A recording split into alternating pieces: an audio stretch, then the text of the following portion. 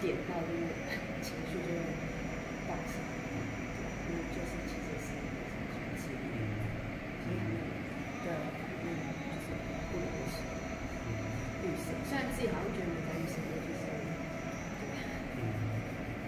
是那个情绪可能就是会变散，啊，这样有什么疑惑吗？就是觉得不应该这样子，对啊，就是是不要点到那个控制欲。那当然啦、哦，请坐。为什么我刚说啊？这样有什么疑惑的意思是说，因为你们常常在表达一件事情，只有从你们嘴巴和生命状态展现出来，会让人家不知道那是那是什么。我不是说你家发生什么，而是你在表达一件事情的最后的这个当下面对，让一般人会会不知道你这是疑问句，还是句号，还是惊叹号，对不对？因为你表达一句话出来，这个句号、问号跟惊叹号关系到人家要怎么面对。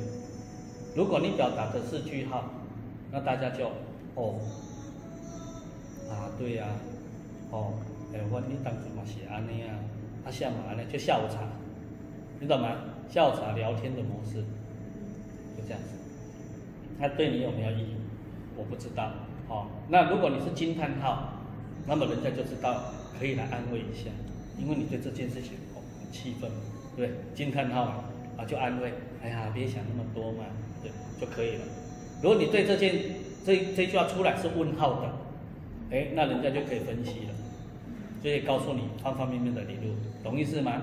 所以有时候你们在问问题，不是我听不懂，而是你们假设是修行的，你们的任何一个当下点，它就是修行，对不对？哦，所以比如说你现在来到这边，现在来到这边，你第一个当下点就是站起来发问问题，这样就修行了。哦，怎么说？你会问就叫会修行，你不会问就不不不会修行。你那反过来叫你透过用会问，我把这个问题理得清楚，表达得清楚，来达成我当下的修行。这这逻辑听得懂吗？我当下我光问一个问题，这个问题的疑惑还没解决哦，我已经在修行了。那已经在修行代表什么？我当下已经有一种好能量了。那这好能量出来，关系到什么？你后面人家告诉你的解析的理解度啊，有好能量，你的理解度会高，所以你就比较不会常常听不懂，哦，啊听完五煞煞，哦啊疑惑就比较不会，哦，因为你每一个环扣接一个环扣都对，哦啊，如果你第一个点，哦当然是问问题嘛，可是是世间人下午茶的模式，或者是找人诉苦的模式的问问题，哦，你看这个叫做态度，哦。诉苦是一种态度，找人闲聊是一种态度，对不对？态度决定一切，所以人家跟你回答的已经被你的决定的你的态度决定你的一切了，并不是他要给你的了，你懂意思吗？那如果你的当下是修行人的模式，那恭喜你，人家跟你讲的就会转化你的思维，不会是人家跟你讲的，你用你的思维把它转化掉。容易是吗？哦，所以有时候我会常常反问你们的原因是这样，而不是我说我我讲那么清楚你听不懂，我我当然懂那些事，哎，可是我觉得你们不懂得修行，要去把握方方面面的当下，哦，所以假设好，我现在帮你分析完这一段了，那当然你有没有决定是修行的那个时间有过了嘛？那不重要，那你下次你自己去沉淀一下。那我就当做是修行的问法，对，那我用修行的回答告诉你说，啊，对啊，那你就会回想啊，那我们是不是要修行？如果要修行，当然是叫不对啊，而不对的人只有一个嘛，就只有不要这样，对不对？这是最直截了当的。哦，那你说啊，我也知道啊，都做不到，哦，没做到了，哦，这样，现在发生的就没做到，哦，那那。以后假设发生的不知道做得到做不到，对不对？哦，是是有这种可能性嘛？因为都没关系。那你要修行，你要朝向修行的思维逻辑就好了。我现在没做到，不应该啊，那应该要做到。那为什么我老是都做不到？哦，这个点就要去寻思。这修行人会寻思，为什么做不到？那是我修行不到位，那肯定啊。因为因不到位，果才因应不了。那因肯定不到位，那你就要再去寻思啊，往下走。那我是怎么个不到位的？哦，我的面对修行的所有的这些，依我现在我活到活到这把年纪，所所接触、所能理解，不理解的我们不讲，所能理解的那一些该注意的修行，平日要做的，不管你们是实际行为面对的事的操作，还是你在预备做的功课，哦，在家里的所谓定课、散课等等等这些，啊，有有为无为的都好，哦，有行动模式的，有解门的。哦，有行门的都好，那你就要去检测，它那些有没有对？啊，第二个有没有够？啊，够不够？对不对？对不对？是这样。哦，够叫量，量足不足？对不对？叫做值，值到不到位？这样，这两个。所以你就去检测了，哦，你就会平心静气的啊，原来我很多时间又花在哪里去？我很多时间又怎样？啊，有些东西我没有坚持。啊有些东西你就会理出来，那这个很轻而易懂啊，对不对？当你理出来轻而易懂，你就往那个不足的再去促成，我那个不必要花太多时间的去衰减，你就在调整了，对不对？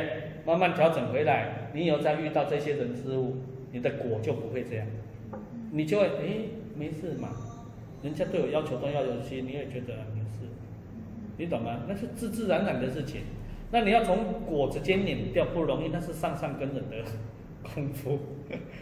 果啊，你已经发生的果，你怎么怎么碾掉？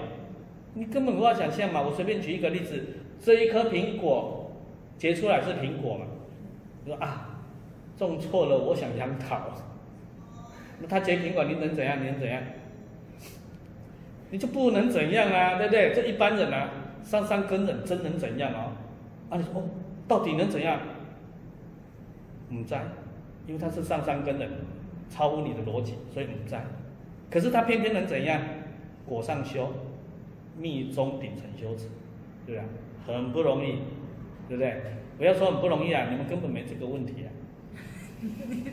你要容易难也得有这个问题才有难易嘛，啊根本没有，哪有什么不容易？根本对你们不存在。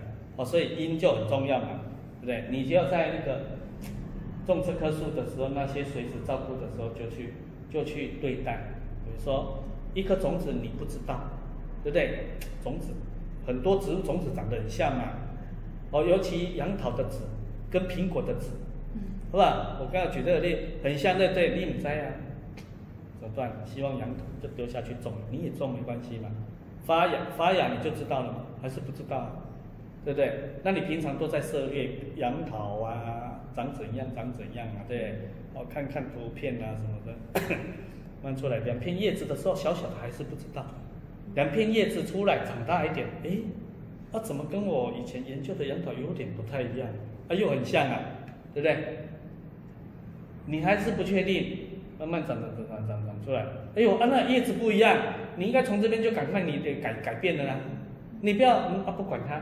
又长，不管它又长，然后最后你只期待那一颗结开花结出来的果，哎，果真不是，黑点美湖啊，你懂意思吗？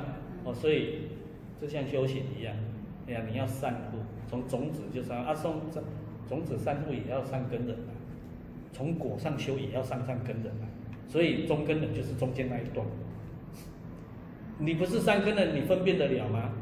嗯，原因都还没那个，你就知道原因怎样啊？见为知着，对不对？以前讲这句话，那见为知着是很有根性的人，他才见为知的了。对啊，要不然我们都已经对不对？结果结那么大的还不知不觉呢？对啊，所以这要提起敏锐的什么观照力？观照力，佛家用词啊，不好懂。提起敏锐的什么关怀度？这比较懂了，关怀是什么？关怀，你看那个种子长出来的过程，关怀那个，那相对你们修行是什么？你们刚接触，你这个接触法，就是那一颗种子接触到水，对不对？还没有长，对不对？好，那你知道你们一般人，你都还没有学过法，你灵性还没提升，你了解你吗？对不对？所以你不懂那颗种子是什么，你不了解你里面嘛，到底是什么种子？一颗黑黑的，对，你怎么知道它里面剧组长出一个良好的养分的的特质？你不知道，就像你们每一个人一样来到这世间，你们要说修行，你知道你吗？对不对？所以你得去试，对不对？你去遇水，就是修行的法，法的浇灌，那你就长了，你就开始运作，运作就要长。你运作的过程，你才知道，啊，原来我是苹果，不是杨桃，那你赶快修正嘛，然后换你里面嘛，把你里面的直性换成杨桃嘛，对啊，继续接触法嘛，水在浇灌嘛，对不对？所以你慢慢长出来啊，对了，这个叶子对了，对了之后呢，你要散布啊，爱迪卡狗啊。哦，一直一直一直支援它养分的，你如果不支援它养分，它长大过程又一下又 lanky 啊，哦，一下又怎么样的，哦，就是这样，所以这叫因上，对，那你遇到的就是这样啊，啊，遇到我这个叶子啊，老是遇到大太阳，稍微日出我就快枯萎了，对不对？啊，怎么都这样，怎么都这样？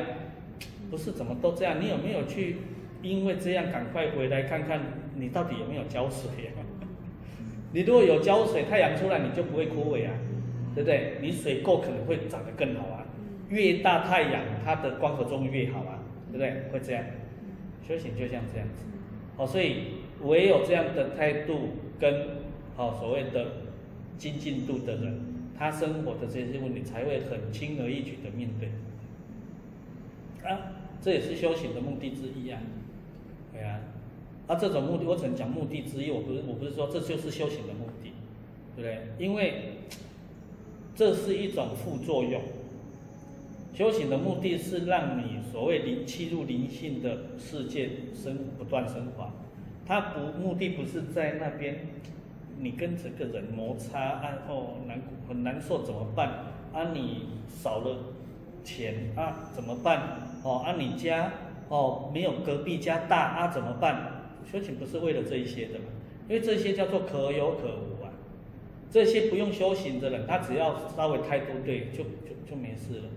比如说控制啊，家人摩擦啊，老幺要求我，只要一个人他的态度稍微对，都不用修行哦。为什么叫态度对？啊，莫差我济啊，对不对？啊，我心思也不是伫遐，啊，无差啊，啊，青菜就好啊，对不对？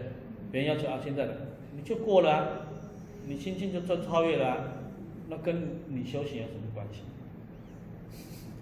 可是修行却可以容易办到这件事情，哦，我们这个叫做副作用、副产品，对，那你可不要忘记你的主攻、主推商品。你主推商品就是要有生子出三界，对啊，啊，你的主推商品如果是在那边，那你其他的产品有卖没卖，你会注你会计较吗？你只会关心你的主商品有没有卖掉啊？对不对？啊，其他啊，拖刀拖刀卖卖出去，得得招待嘛，招待就好啊。啊，主商品卖卖出去，你就要想办法啊。哦，看到底是内底料变质，还是宣传无够，哦，你再想办法，懂意思吗？所以这种问题就是这样。